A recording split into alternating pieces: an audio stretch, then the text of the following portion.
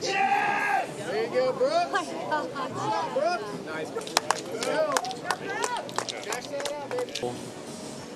Helping win negates it.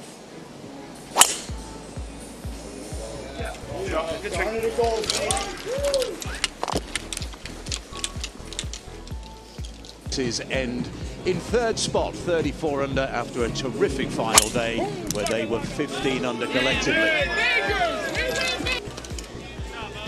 Mito Pereira made his part at eight. Jason Kokrak getting stuck under. Seems to just square the club up a little more with moving through on a leveler axis.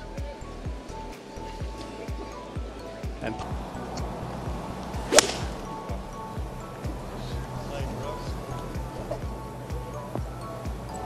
hmm. Cowen, his coach, he says he's compressing the ball as well as he's ever has. That's why he's hitting it so well. This looks What's the vibe in that group? Dom, behind me?